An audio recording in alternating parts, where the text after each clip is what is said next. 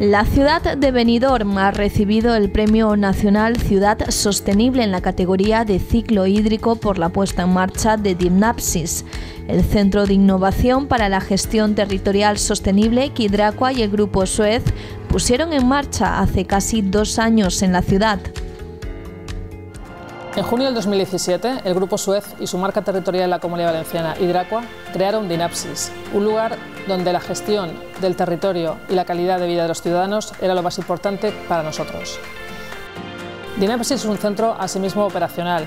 un lugar desde donde las mejores decisiones de inversión, decisiones de planificación, decisiones de operaciones para el día a día son básicas para crear ciudades más inteligentes, más resistentes, más resilientes y más sostenibles. Dinapsis es un espacio abierto, es un espacio donde la colaboración, las alianzas son básicas para el crecimiento del mismo. Es un centro donde las administraciones, ayuntamientos, universidades, startups y por supuesto los ciudadanos son parte de él. Este reconocimiento se concede a municipios de más de 5.000 habitantes en los que se haya ejecutado satisfactoriamente actuaciones dirigidas a la sostenibilidad y compromiso con el desarrollo sostenible.